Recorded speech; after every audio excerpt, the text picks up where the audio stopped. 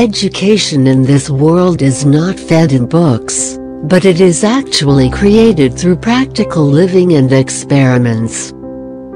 When we experiment with the things around, the outcome can be success or failure. But you need to understand that if you don't experiment, you won't get any outcome. Success or failure is on another level, and it cannot be decided randomly without thinking.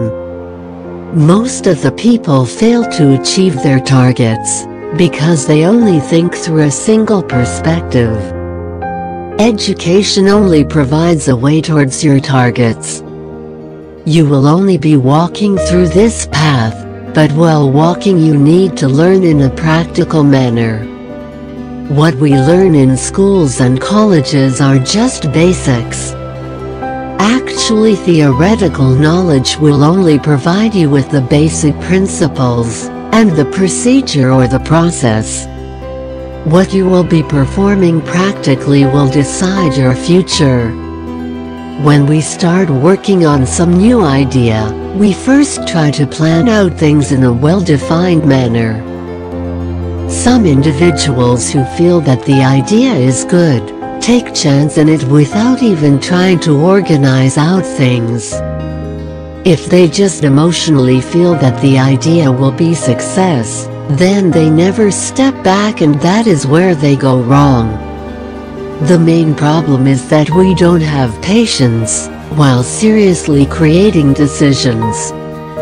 When it comes to belief, then we need to also have a thorough study about it. Some people just assume that this idea will turn out in this manner. As we all know that assumptions can ruin our strategy, and once we start assuming things, then it will always hinder our growth. Some people think that belief in oneself comes with a good amount of experience. Definitely we get to know things, but we cannot guess success rate of that idea. It totally depends upon the consumer and the majority of audience.